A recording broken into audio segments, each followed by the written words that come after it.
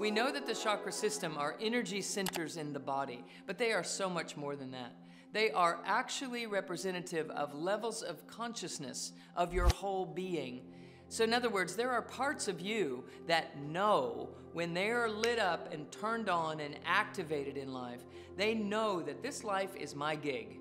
I'm not here to fit into somebody else's reality and make sure that I'm accepted by this group or that group or that I belong somewhere. I am what's to belong to. I'm that here. And I'm here to have a life experience that is mine as my deepest soulful self with desire and has planned out at the bus stop conversation how to come here in this soulful contract kind of way and unfold into my own magnificence. Now, there are parts of your consciousness that know that, and there are parts of you sometimes that have no clue that that's what's going on. That's because the circuitry in that department isn't locked in and integrated in such a fashion that we can consistently operate that way.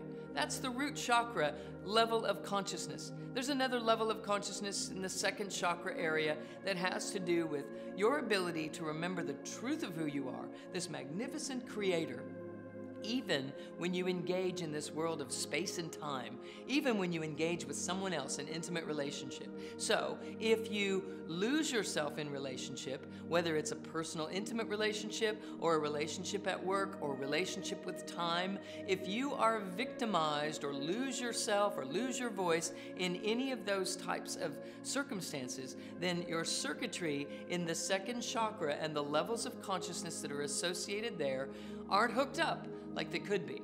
And that's exactly what we want to shift. As well, in the solar plexus area, this is the area where the levels of your consciousness that have to do with your personal power, your knowing that you are here as a divine being, anchored in your multidimensionality, grounded in love, to bring yourself right out into the world without hesitation. That would happen with grace and ease if the circuits of that level of your consciousness were connected up and integrated with the rest of who you are. Likewise, there's an area around the heart chakra that are certain different kinds of energies. And there are levels of consciousness that are associated with those types of energies that have you feeling loved no matter what your partner is doing, or your kids are doing, or your boss is doing, or the way it's going in your life, whether luck is unpacking and unfolding freely, or whether you seem to be, you know, hitting a brick wall. In all those circumstances, you are equally loved regardless of your external environment. So when the circuits of the heart chakra are plugged into the rest of your circuitry, then you know this regardless of what's going on around you. Likewise, in this throat chakra area, when you are ignited and awake and alive and integrated in these levels of consciousness that are associated energetically with this part of your being, you come in and manifest without hesitation. You do not doubt yourself, you just roll it out. Nor do you step on other people to get your goal met. It's a collaborative, uh, uh, grace filled action that unfolds in your life. Consequently, when your third eye is open and active and integrated, you are completely aware of and have memory of your, uh, your past life experiences, your multidimensionality, the possibility of this idea of parallel universes, and all this, this fringe type of talk that's actually becoming more of the mainstream conversation because of what quantum science is delivering to us. We are eternal beings, and we are here to wake up to that and live in a practical sense that allows us to make a difference in our communities because we're not busy trying to survive, we're available to actually be in service to one another to actually care and be kind in circumstances where everyone else is trying to get their own. So, I teach embodiment. It's about how do you know that you're doing everything that you can do to bring these levels of your own consciousness online, to wake them up and to make them active parts of your daily life And so there are ways that it feels inside of your body when these aspects of your own consciousness are truly awake and integrating and uh, embodied in such a fashion that they can contribute to the life experience that you're having from day to day. Not only improving your relationships and your engagement and your creativity, but your ability to heal physically, mentally, emotionally, and integrate spiritually. In other words, it's a huge benefit to you to be able to sense and feel and know. So here's what you can start to work with. We know there are four anchor points that you can learn about in the Energy Codes book very easily. An anchor point at the base of the pelvic bowl, at right at the heart level, right at the throat level, and right behind your eyes. When we anchor in those points, we have access to this central channel that breathes up and down through the core of our body, constantly and continuously. It's measurable, it's identifiable, it's a very real thing.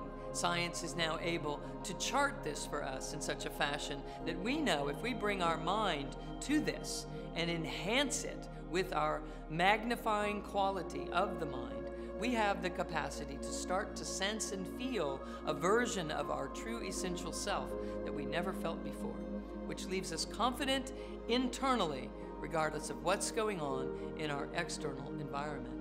So, what it feels like when each of these energy centers is enlivened and activated and integrated, and we are therefore what I call embodied, is different a little bit in each of the energy Center. So I can give you some examples, just as things to start to look for, feel for, sense into.